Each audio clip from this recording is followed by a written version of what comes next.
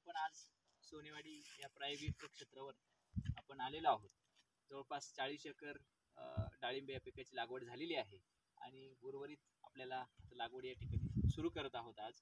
तर लागवड करत असताना आपण आज चौदा बाय नऊ हा आपला प्लांटिंग डिस्टन्स आहे. लागवडीचं अंतर आहे. दोन ओळीतलं अंतर हे चौदा फूट आणि दोन रोपातलं अंतर नऊ फूट. याप्रमाणे आपण आता खड्डे घेऊन प्रत्यक्षपणे या ठिकाणी लागवड आपण करणार आहोत. तत्पूर्वी आपण आता खड्डे घेऊन खत बेसल डोस आपण देत आहोत. प्रति झाड आपण बेसल डोस आज आपण या ठिकाणी काय दिले?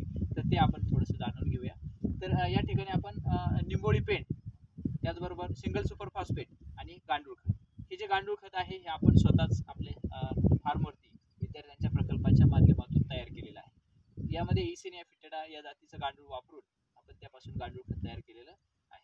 आता प्रति झाड काय डोस आहे हे मी तुम्हाला सांगतो. तर दोनशे ग्रॅम आपण एका झाडाला निंबोळी पेंट दोनशे ग्रॅम आपण एका झाडाला गांडूळ खत आणि साधारणपणे पन्नास ते साठ ग्रॅम चाळीस ते साठ ग्रॅमपर्यंत आपण सिंगल सुपर फॉस्फेट प्रति झाड खड्ड्यामध्ये या ठिकाणी टाकलेलं आहे. तर अशा पद्धतीने टाकायचं काम सध्या सुरू आहे. एकत्रित आपण मिक्सर केलं आणि एका झाडाला साधारण साडेचारशे ग्रॅमचं एक आपण डब्याचं माप केलेलं आहे. त्या मापानुसार प्रत्येक खड्ड्यामध्ये त्याच अ, तेवढं खत आपण ते टाकत आहोत आणि त्यानंतर आपल्याला प्रत्यक्षपणे लागवड करायची आता खड्ड्याची खोली किती आहे हा खड्ड्याची खोली साधारणपणे दीड फूट सॉरी सव्वा फुटापर्यंत खड्डा आहे. त्यामध्ये काही माती काही खत असं एक माध्यम त्यामध्ये तयार होणार आहे. त्यानंतर त्याच्यावरती झाड येणार असून झाड येणार आहे.